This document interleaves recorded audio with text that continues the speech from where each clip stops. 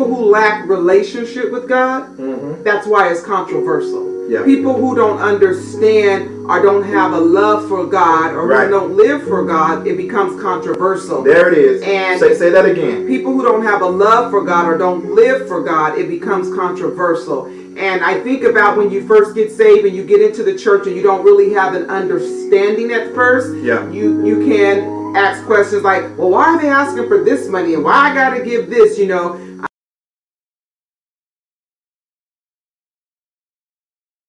Fitness in the gyms. Some people like to go gambling. Mm-hmm. Some people want to go to the beauty shop more than give to the church. Nails, Some feet. get the hairs and nails and feet done. All we this. know our hair costs money, whether it's ours or not. I'm not against any of that, but what I am for is the principle of giving because God commands us to do it.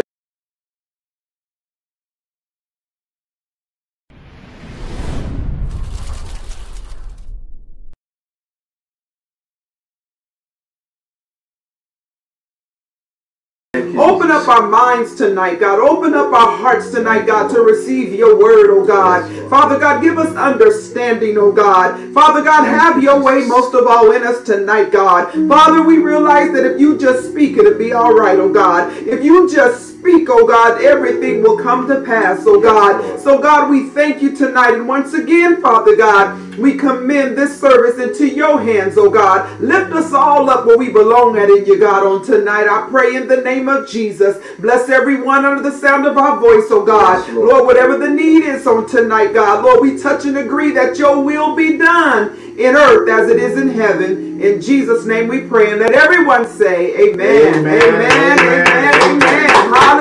Hallelujah. Hallelujah. Thank Oh, you, Jesus. God. Hallelujah. Thank you, hallelujah. Jesus. Hallelujah. Hallelujah. Thank you, Jesus. thank you, You're so worthy, Lord. You're so Yes, worthy, you are, God. God. Thank you, Hallelujah, Lord. Jesus. Hallelujah. Bless the Lord. Bless the Lord. Thank you, Hallelujah. Jesus. Thank, you, Jesus. Thank you, Lord Hallelujah. Jesus. Hallelujah. The purpose of our Bible study, as we like Thank to Jesus. bring forth each and every week, is three different things. Number one is to increase our biblical literacy about the Lord. Number two is to elevate our spiritual consciousness about God and His Word. And number three is to implement an intelligent um, faith Yes. into our lives. Yes. And I'll, I'll say it like this. This is what we say in the IT department, you know, dealing with computers and networks. If you can't tell somebody what you're doing and how they can do it, or give them instructions on how it works, All right. you don't know what you're doing. Okay. Amen? Amen. So when it comes to salvation and all of the things that revolve around the, the concept of salvation, Uh huh. we are a how-to ministry. Yeah. And we want to help somebody that's out there tonight. Amen? Amen. Tonight's lesson, as we said before, uh, we're, we're going to be talking about the, the principles of giving tonight. And we want everyone to understand that there, there are some, some miseducations about this, some misunderstandings about this. And so, what we want to do is go into the Word and give some practical understanding using the Word of God and just from practical living. We have seven years of experience in leading a church congregation. Yes. So, we, we have a lot of things that we can share tonight that are going to be helpful for those who are watching. Amen? Amen. Tonight's topic is, you know, the, the, the principle of giving, tithes and offering, part 2 But but what we specifically want to focus on is why is tithing so controversial? Uh huh. Amen. Hallelujah. Hallelujah. Shout out to Brother Donald Pope. Shout out to Sister Natasha Carr. And shout out to Brother Reginald Rod- Robinson tonight. We're excited about what God is going to bring us tonight in this particular lesson. And I'm excited because I know that there's something wonderful in the Word tonight. Because think of it like this the Immaculate Conception of Jesus Christ being born of a woman Uh-huh. is one of those topics that is highly debated. But guess what is debated even more than that? The concept of the principle of giving tithes and offering. Right. So what we want to delve into tonight is why is tithing so controversial? Amen. Come on, Pastor. So we want to dive into this topic, and of course, we, realizing that tithes and offering was first introduced in the Old Testament. Mm-hmm. And a lot of people say, well, you know, uh, we're no longer under the Old Testament. Jesus fulfilled it, blah, blah, blah. Uh, eh, not so fast. Because if it's fulfilled, then it's just as real now as it was back then. Uh-huh. That's like saying, well, God gave us the Ten Commandments in the Old Testament. Thou shalt not steal. So if you say it's been fulfilled, then that means in the New Testament we can go out and be thieves. All right, come on, Pastor. I'm just trying to bring you some common knowledge here. You know, that there's, there's no allegorical metaphors here. This is the real deal. Amen. Amen. So let's let's dive in and let's see what thus says the Lord tonight. I want to begin with a, a, what I call the litmus test of tithing. All right, baby. It's, it's a basic verse of scripture that's going to show us something really quick here. Mm-hmm. And we're going to begin in Matthew chapter number 19, verse number 24, where it says, Indeed, it is easier mm-hmm. for a camel to pass through the eye of a needle than for a rich man to enter the kingdom of God. Uh-huh. I just want to drop that on you. And I want you to think about that for a moment. And then we're going to come back to it in just a moment. Amen. Amen. Hallelujah. So why is tithing so controversial? Tithes and offering, first and foremost, is more than mere money. Uh-huh. Okay? God has a system. And his system allows you to feed what's feeding you. Yes. Because giving is an act of worship. Right. Amen? Amen. Hallelujah. Amen. So let me just be sarcastic and serious all at the same mm-hmm. time. Because I like, excuse me, I think I got the hiccups. Drink something, baby. they used to say you're, when you have the hiccups, you're growing. I don't know where that comes from. Well, I guess we can't go but out now. Lord have mercy. I rebuke that devil right now. I need to keep going up. Hallelujah. Wide load. Put a sign on me just walk, walk down the hallway. Hallelujah. So let me be sarcastic and serious at the same time. How much is it worth for a ministry to pray for you after contracting COVID 19? Mm-hmm. Ponder on that just for a second.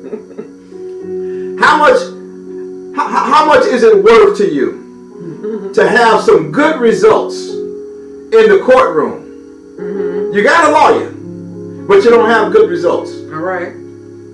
But how much is it worth to you for our ministry to pray for you when you have a lawyer that has failed you? Mm. Hello? Hello. Or, or- better yet, when you can't even afford an attorney for your legal situation. Mm-hmm. How important would it be to be for us to support you as a ministry or anybody by that regards to support you when you're going through a season of trouble?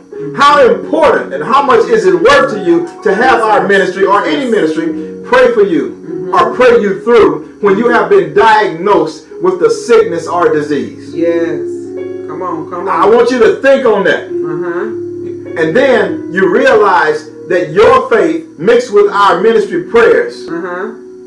helps you get to the other side and provides for you a testimony. Yes. You can't really put a price on that. Mm-hmm. Like people say, I'm a cancer survivor. Well, you're not a cancer survivor without some prayer.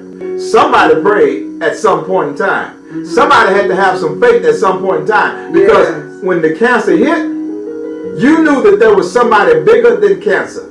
Uh-huh. Amen? Yes. So you ended up tithing and offering your prayer. Uh-huh. Hallelujah. Hallelujah.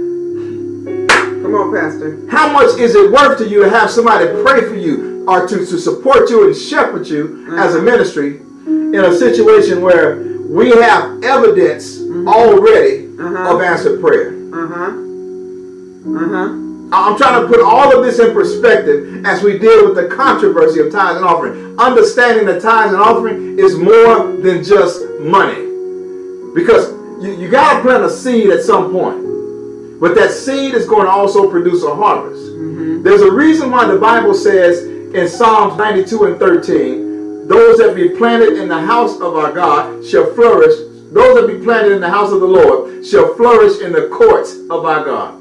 There's a reason why that verse of scripture is pertinent tonight. You got to plant a seed of faith on the thing that you're looking for from the Lord. And it's not always just about money. Now let's talk about money since most people want to go there. Yes. Yes. When, when it comes to giving finances, money, time, Uh-huh. effort, etc., we all are a little bit different. Uh-huh. In the case of money, for some of us, we don't have that much money. Uh-huh. So it's easy to have faith, because you don't have very much else to rely upon. But for people who are quote unquote wealthy, I didn't say rich, I said wealthy, and there is a difference. We're rich, we're not wealthy. Mm-hmm. Rich means you have the ability to go out and make money to pay for everything you got. Wealthy means you have generations of money stored up, and when you're gone, the money's still going to be here. Somebody catch that tomorrow. I get it. If you're already living in a state of poverty, what we call being broke, then it's not very hard mm-hmm. for you to have faith for God to bring you something else because you don't have much. If you're wealthy, mm-hmm. notice the distinction. If you're wealthy and you're going through a hard time, sometimes you can prop yourself up with your money. Huh. I'm going to put that scripture up again because we're getting ready to dive into it. I'm going to let you just marinate on it for a moment mm-hmm. as we get to that scripture. Mm-hmm. Some people can prop themselves up with their money because they've received inheritances. Some people have received properties. Some people have had, you know, they've had the ability to have things handed down to them. Yes. You know, black people who came to America, we, we, we, we, we have Caucasians here in America who have 500 plus years head start on us. When they leave stuff to their children, it's because the wealth was established on our backs. Right. But we serve a God Uh huh. who can, who can do anything but fail. But fail. Come on. And, and we have to understand his principles if we really want to be successful. Mm-hmm. So let's let's dive into this Matthew 19 and 24 just for a moment. Mm-hmm. Now we're looking at what's called a hermeneutical metaphor because it says it, there's a needle here.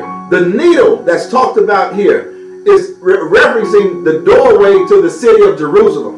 If you look back in the antediluvian days, what we call the Bible days, then uh-huh. what it's referring to here is, you know, how the cities would be locked down all around, and they'll only have this door, and the door was actually pretty much a gate. Uh-huh. It, it was called a needle gate, Right. and, and it's for the purpose of security. The only way in or out, you would have to go through the needle gate. A mm-hmm. human being could walk right through it. Mm-hmm.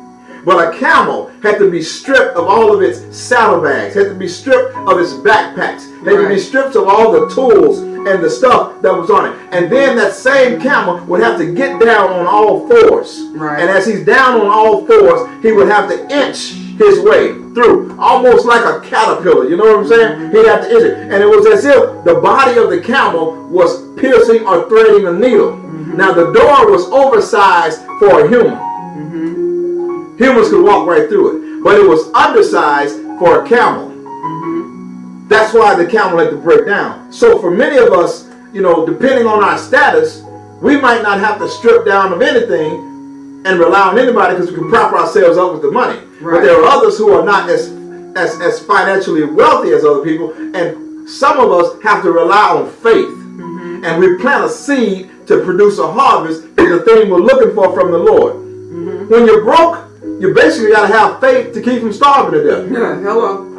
Hello? Mm-hmm. When you got money, mm-hmm. you can always eat. You, you're not wondering where your next meal is coming from. Yeah. So you're not apt to have anybody pray for you. Hello. You know, you're not worried about where your next meal is coming from because you already got what you need. But just like the camel, we have to shed all the other ideologies, all the belief systems, all the advice, and all the miseducation that we receive because when all else fails, we are only left with our faith. Mm-hmm. And at some point, you have to give God a tithe of your time, a tithe of your prayer, a mm-hmm. tithe of your praise, a mm-hmm. tithe and an offering, on, come a on. sacrifice Yes, yes. of who you are, and offering yourself up as a living sacrifice to God. Because when all else fails, all you have is your faith in God. And you can't rely on anybody else. Mm. And you find out when you don't have any money mm-hmm. that there's other things I can tithe or give as an offering to the Lord. Mm-hmm. Sometimes I can give him my professional talent. Mm-hmm. Hallelujah. I mean, I, I want somebody to catch that tonight. Right. If you have questions, we want to see them. I think it's it. This is a good topic, Pastor, because as you were speaking, and I begin to look at the question again, and it says, "Why is tithing so controversial?" But I begin to think, is it really controversial? But then people who lack relationship with God, mm-hmm. that's why it's controversial. Yeah. People who don't understand or don't have a love for God or Right. who don't live for God, it becomes controversial. There it is. And- say, say that again. People who don't have a love for God or don't live for God, it becomes controversial. And I think about when you first get saved and you get into the church and you don't really have an understanding at first. And so we have to understand, again, it comes controversial because we lack relationship. We lack what the Word of God has to say, you know, and it's important, you know, it's important that you develop a relationship with God. So when the man of God who serves God and says, The Lord put it on my heart for you all to give $20, the Lord put it on my heart to give $50, it doesn't become a, a chore for you. It's not a burden for you. And the only reason it's a burden for you is because you, you may have it, but you don't want to give it. Hello. You know, that's the only thing, that's the only time it becomes a burden, you know. it is. But other than that, I would just say, you know, give and it shall be given back to you. And then I just want to share this testimony. It is not my testimony, it is definitely Pastor January's testimony. But I watched how quick God Do, do I want it this to be shared? I don't care. You you be all right. Uh, it- it- it's all about God, right? Lord have mercy. Help me, Jesus. Help me. Well, we listen to a, a prophet faithfully. Through, he comes on every Monday at ten o'clock, and he told us that this that God told him to tell the people that some people are going to get a forty-eight hour miracle, a twenty-four hour miracle, a forty-eight hour miracle, and a seventy-two hour miracle. Well, the I don't know if it was the day before, the I think it was the day before or the n- night before. Pa- Pastor said, "I'm going to give a seed into this person's ministry." And I was like, okay, but he wouldn't tell me how much yet, you know. And then when he got done talking, said, okay, I'm gonna give this much, babe. I said, okay, that's fine, you know. And then the next day, literally, saints, the next day, pastor sends me an email where a job of his said, hey, we owe you a couple of grand. I'm like, wow, you know, we had no idea. This is no joke. We had no idea that we oh, we were to receive this money. Well, it was his money because he worked for the people, but he didn't know because he'd been gone, been left that job. But it just amazes me how God quickly worked. How he quickly worked because Pastor gave in a seed offering, and then God, what did he do? Quadrupled that, you know? And so I'm just saying, saints, you know, don't if you having problems giving if you having problems paying your tithes talk to god about it. Ask god to deliver you. Ask god to ask to, to whatever it's hindering you that's keeping you in that frame of mind to take it out. And there's some things we have to sanctify ourselves. And again we got to let go of some of those starbucks. We got to let go of some of those mickey d's. We got to let go of red lobster sometimes just just so that you can have it to give to the church because you want to prove god. You want those testimonies in your life because you're going to need them i'm gonna let pastor go ahead Amen. I was just sitting here enjoying it. i'll tell this, you this God is one of this this is one of those topics that I call touchy feely Mm, because people will go out and buy their children two hundred dollar pairs of tennis shoes. mhm, They'll go out and buy expensive dresses for themselves. Uh, they'll go out and buy themselves expensive clothes and cars and houses.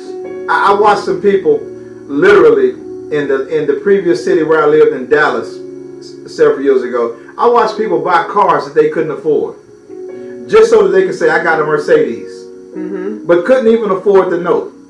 I watched people buy houses knowing that they may or may not be able to pay the, the mortgage. uh-huh, I watched people buy clothes Uh-huh. and keep the tags in, and they would stick the tags down underneath here, like under the arm, and and and, and safety pin them in, wear them, take them to the cleaners, take them take them back to the store, as if they never wore. And I go, is it really that serious? I've watched people buy what they want and beg for what they need. And it's all because you have to understand that God is not a respecter of persons, but He is a respecter of principle. That's why people who, who don't even love God, but, but honor the correct principles, are still being blessed. I want you to grab a hold of that. There are people who don't give God any glory. But the Bible says he, he rains on the just Yes, uh-huh, just as he does on the unjust. And the moment you are, you understand this, you are responsible for it. And this is why most people don't want to be taught these types of principles. Because Uh-huh. once you have heard it, you're responsible for it. Mhm, And, and if you're responsible for it, you can't get away with the stuff that non-believers get away with. Right. And let me just say this a disclaimer for anybody out there. You will never be able to follow God, Mm-hmm. call yourself a Christian, Uh-huh. and say, I'm a follower of Jesus Christ, Come on, Pastor. I'm saved, mm-hmm. and think you're not, you're not going to suffer. Come on, Pastor. Suffering is a part of being saved, Yes. It's yes. a part of this whole process. Uh-huh. Okay? Uh-huh. And then you, you it's think about it as going to the bank. You at Uh-huh. some point you got to invest in your salvation. Right. at some point, okay? Uh-huh. Now, now, now look, at- look at this verse of scripture as well. Proverbs 3 and 9 says it like this Honor the Lord with thy substance and with the first fruits of all thine increase. Yes. Some people only give offerings because it's cheaper. Mm-hmm. If God blesses you to make $2,500 every two weeks, that means $250 should be given to the place that is actually teaching you about the Lord. Right. If you can say, hey, that's my pastor, then you're connected to that church. So you shouldn't have any problem picking up the phone, calling your pastor, asking for prayer. Uh-huh. The pastor shouldn't have any problem answering the phone and praying for you. Right. The Right. pastor shouldn't have any problem giving you some of his time Uh-huh. because you're supporting the ministry because you know you're you're you're you're you're blessing where you're being blessed. Yes. If I can say it like that. Uh-huh. You know what I mean? Uh-huh. You have to feed what's feeding you. Yes. Hello? Hello. And you can't make any withdrawals from God Mm-hmm. until after you have made some deposits by faith. Amen. And somebody needs to catch that tonight. Amen. That's why God says, honor him with your first fruits. In other words, Mhm. give me mine off the top. Just having enough. My God. What we're trying to teach you tonight is how to get into what's called the overflow. Yes. If you have yes. never experienced the overflow, Uh-huh. then you don't understand the principle of tithes and offerings. Right. Right. Amen? Amen. Hallelujah. Hallelujah. So that's the real difference between the tithe and the offering. Yes. Yes. And, and, there are those of us who are more disciplined in this thing. Mhm. And we realize something. I cannot afford not to give. Can't afford not to give. Because giving is an act of worship. Right. Amen? right, Amen. And, and I said this in a, in a sermon a couple of weeks ago. Sometimes just obeying God gives us the victory. Yes. Thank you, Jesus. Hello? Hello. And remember this you cannot make a withdrawal from God Mhm. until or unless you have made deposits Mhm. by faith. Yes. Because everything about your faith is a seed. Come on, Pastor. I spent nine months on a sofa Mm-hmm. after having a, a bout with Bell's palsy. Uh-huh. And I, the seed of my faith was that I required healing. Right. Testify. I didn't need I didn't need a dime. Uh-huh. I didn't need clothes. Uh-huh. I didn't need a house. Uh-huh. I didn't need a car. Mm-hmm. Hallelujah. Hallelujah. I didn't even need friends. I needed healing. Yes. Yes. But because God saw that the seed of my faith Uh-huh. trusted in him, Yes. Uh-huh. and I kept declaring that, you know, I'm healed by the blood of Jesus. Yes. I'm yes. healed in the name of Jesus. Yes. I'm healed. I'm healed. And then after nine months of declaring I'm healed Uh-huh. and sleeping on the sofa Uh-huh. and missing my wife, even though she was 25 feet away in the next room, I realized something. Mm-hmm. I was tithing God a sacrifice of my prayer, a sacrifice of my praise, a sacrifice of my belief. Some of us don't believe. Mm. Some of us just don't believe. So true. Hello? So true. That's So just the truth. That's just the And we're so afraid to test our belief. Mm-hmm. That's so true, Pastor.